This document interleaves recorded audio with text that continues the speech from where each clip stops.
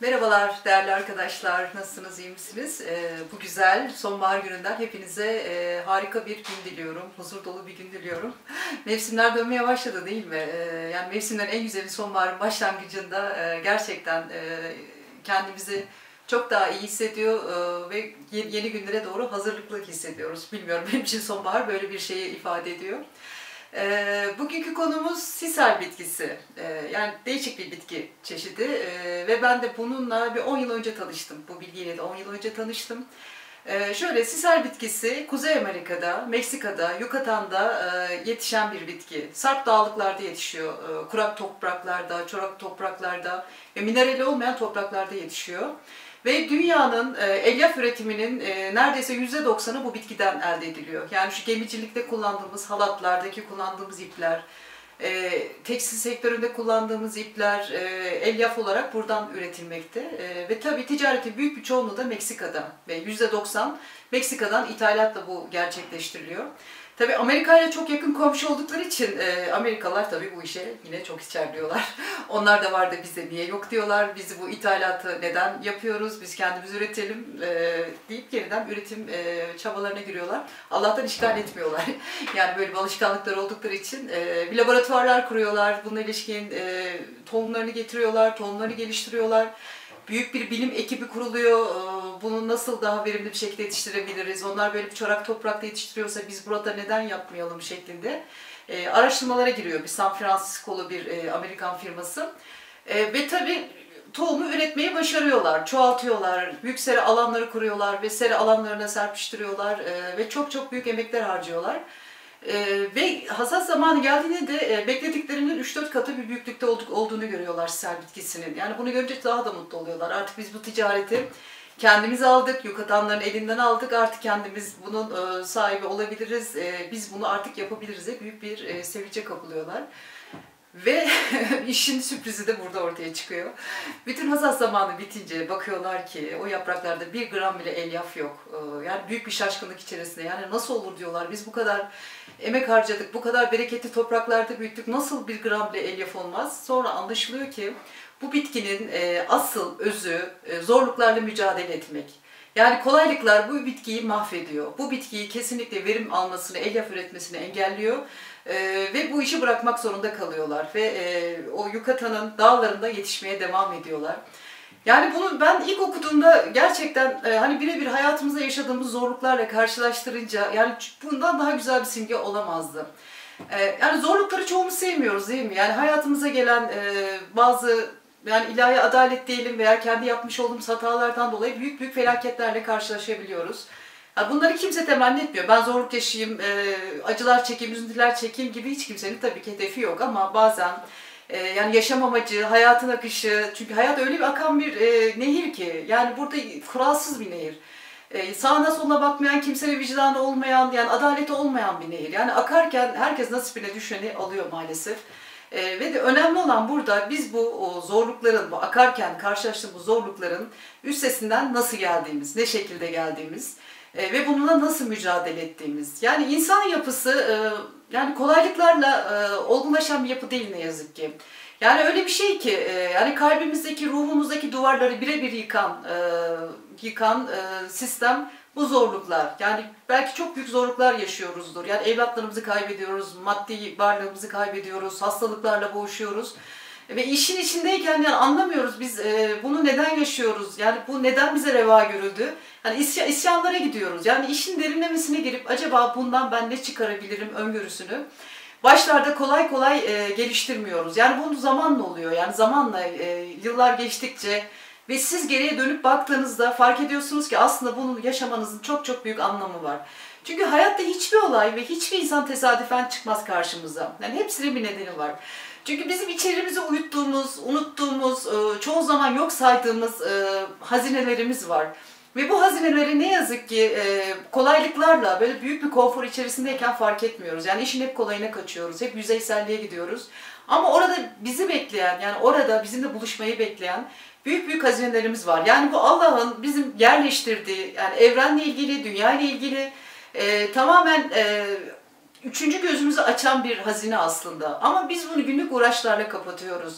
Kendimizi yok sayıyoruz. Yani bütün bunları yok sayıyoruz. Yani ufak tefek şeylerin peşine düşüyoruz. Yani zorluklar da bu anlamda bu hazine, hazinelerimizi ortaya çıkaran e, bazı e, savaş diyeyim. Yani doğanın bize açtığı savaş diyeyim. Yani hiç kimse bizi rahat rahat oturtturmayacağı bir savaş savaş diyeyim. E, yani köşenize çekilmiş televizyon izlerken bir anda bir deprem oluyor, ne bileyim bir anda bir telefon geliyor, bütün hayatınızı değiştirebiliyor. Yani son günlerde de biliyoruz bir pandemi olayımız var, Covid-19 olayımız var.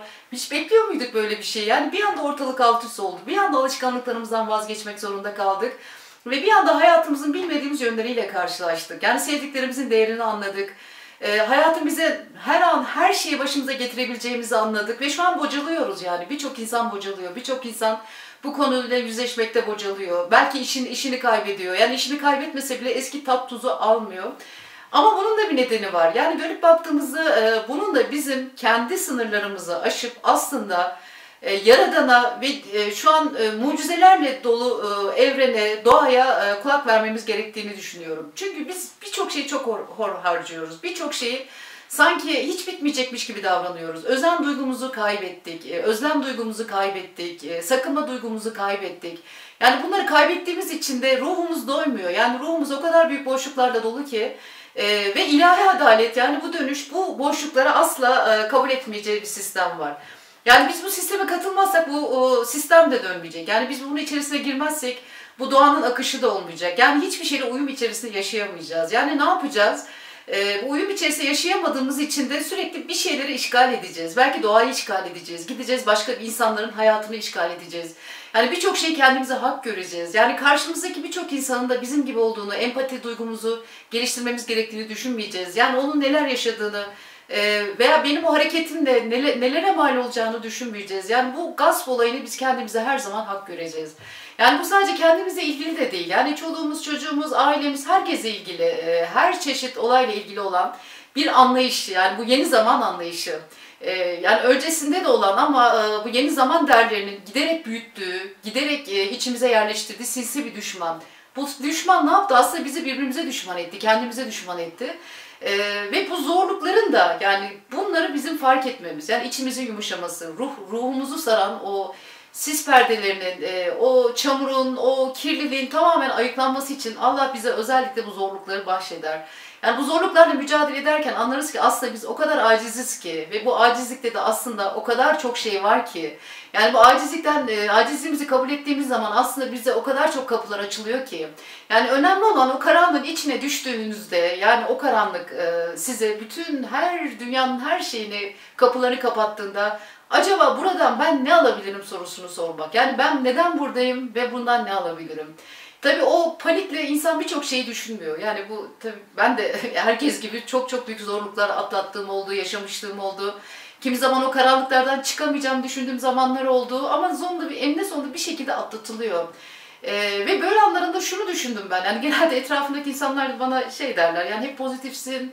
E, her şey güzel tarafından bakıyorsun. E, her şeyi iyi tarafından değerlendiriyorsun. Ama bu kolaylıkla olan bir şey değil. Yani hiçbir zaman hiç kimse bana bunun e, bahşetmedi. Yani bunu ben hayatımda yaşarken, bazı tecrübelerimle yaşarken ve büyük zorlukları aşarken oldu. Yani kuyuların dibinde e, çırpınırken oldu.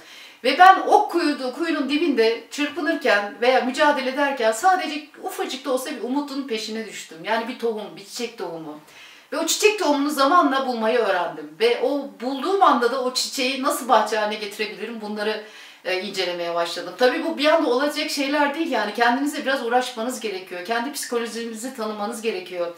Gerekirse terapi gruplarına gitmeniz, eğer bunlar yetmiyorsa kitaplara e, ve paylaşmaya yönelmeniz gerekiyor. Ve en önemlisi kendinizle yüzleşmeniz gerekiyor. Bazen bu çok acımasız bir şekilde oluyor. Yani kendimize acımadığımız zaman bazı şeyler ortaya çıkıyor. Çünkü biz kendimizi kader mahkumu, zorlukların birini yerden yere vurduğu zavallı bir insan olarak gördüğüm zaman biz asla oradan almamız gereken şeyleri almıyoruz. Almamız gereken dersleri almadan da biz oradan çıkıyoruz ve bir dahaki sefere düştüğümüzde ve yine düşeceğiz. Yani bu hayat böyle gidecek.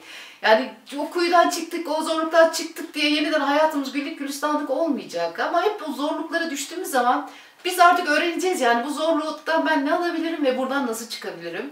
Yani hayat aslında bunun süreci. Ee, yani kendimizi bulma süreci, yani kime nasıl e, elimi uzatabilirim süreci. Yani biz bu süreci atladığımız sürece, almamız gereken şeyleri almadığımız sürece ve kendi içimizdeki hazineleri keşfetmediğimiz sürece yani her zaman huzursuzluğa mahkum olacağız. Yani şöyle bir şey, e, bizim içimizde çok güzel antik kentler var aslında. Hani böyle tarihi yerlere gidiyoruz ya. E, insanlar yüzyıllarca yaşamıştır, üzeri tozla toprakla örtülmüştür ve bir arkeolog gelir, bunu keşfeder ve ince ince kazmaya başlar ve bakar ki altta inanılmaz bir şehir var, inanılmaz güzellikler var ve zamanında ilmek ilmek e, inşa edilmiş e, şehir var, geçmiş var. Yani bizim yaptığımız zorluklar da bu aslında. Bizim üzerimizdeki ölü toprağı atmak, ince ince, çok ince işçilikle bizi e, oraya kavuşturmak. Yani aslında bizim hayat yolculuğumuz bu. İçimizdeki antik şehirlere kavuşmak, içimizdeki hazinelere kavuşmak. Ee, ama e, burada yapmamız gereken e, yani bunun farkında olmak, bu sürecin farkında olmak. Yani bir sisel bitkisi gibi. Yani sisel bitkisi bilincinde mi? O dağların tepesinde, e, o çorak topraklarda elyaf verdiğinin e, bilincinde mi? Yani bunu doğa yaptırıyor. O içinden gelen bir şey. Yani özellikle bize gösterilen bir şey. Yani bu şartlarda da olabilir, burada da olabilir. Yani önemli olan senin nerede, neyi, nasıl, ne şekilde yapman gerektiği.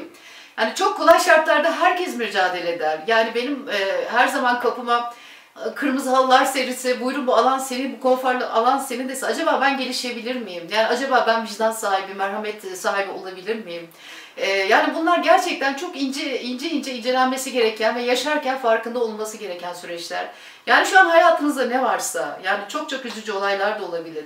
O üzücü olayı atlatmış ve etkisi hala devam ediyor da olabilir. Ama şunu inanın bu sizin hazineniz. Bu sizin ne kadar değerli olduğunuzu gösteriyor. Ve siz buradan çıkabiliyorsanız, çünkü her zaman çıkılır. Yani bir şekilde orada kal, kalmayacağız. Yani bir şekilde yeniliklere gittiğimiz zaman arkada kalan o yaşanılan üzüntülerin, tortuları bize hayatımız boyunca eşlik edecek. Ee, yani kalanları toplayıp hayatımıza devam edeceğiz. Ama oradan da yeni yeni hazineler üreteceğiz. Yeni yeni çiçekler üreteceğiz. Ve hayatımıza çok güzel değerli katkıları olacak. Ve zaman içerisinde bakacağız ki aslında bunu yaşamamızın bir nedeni var. Yani aslında karşımıza çıkan insanların hepsinin bir nedeni var. Yani o insan çıkmasa belki başka bir insan çıkacak. Yani burada hep keşkelere düşüyoruz. Yani keşke bunu yaşamasaydım. Keşke o kadın hayatımı mahvetmeseydi. O adam hayatımı mahvetmeseydi. Ama mahvetmeseydi başka bir şey çıkacaktı. Yani bundan kaçış yok. Yani çünkü tesadüf değil yani hiçbir şey tesadüf değil. Bunları yaşarken farkında olmamız ve yaşarken de acaba e, ben bunu nasıl getirdim, nereden getirdim sorusunu sormamız gerekiyor. Ve tabii bu başlarda kolay olmuyor. Yani biraz kendinize uğraşmanız gerekiyor ve zorluklara bakış açınızı değiştirmeniz gerekiyor.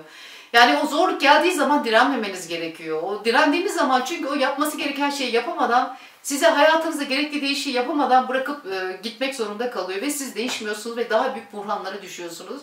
Ve o güneş hiçbir zaman doğmuyor. Yani sonraki olaylarda da aynı şekilde devam ettiği için e, yani zorluklara bakış açınızı e, değiştirmenizi ben e, öneriyorum demeyeyim de e, yani çok çok faydanız olacağınızı düşün, düşünüyorum. Sisal bitkisi de bunun çok çok güzel bir örneği. Yani ben onu ara ara bakıyorum. Hatta internetten bulup bitkileri bakıyorum ve hikayesini defalarca okuyorum. E, ve her defasında da bana farklı bir bakış açısı kazandırıyor diye düşünüyorum.